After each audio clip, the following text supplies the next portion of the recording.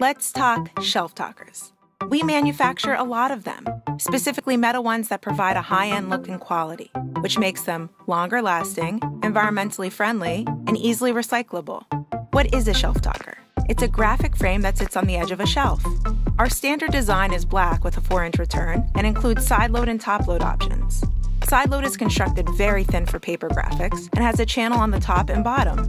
Top load has a frame on all four sides and a large graphic channel to accept thicker paper graphics or to store multiple graphics with various messaging.